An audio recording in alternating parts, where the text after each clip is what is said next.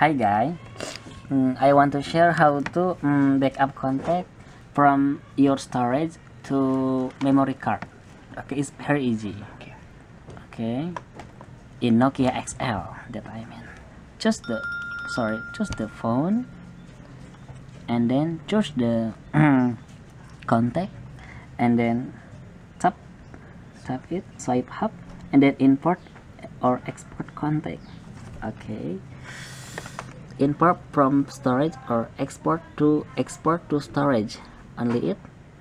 Uh, and then choose number second export to storage memory card. And then okay. Okay. Wait. Processing. The processing. Only it sir. And then this file. Okay. Exporting contact wait until processing is done. And then this file can you upload to email or to other uh, cloud. Just go to Astro.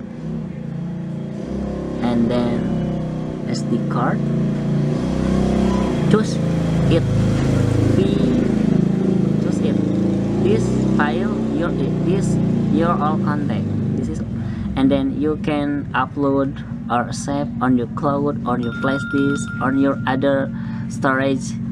Uh, if you want to export again this contact is very easy. Only move to your uh, Nokia XL okay? Thank you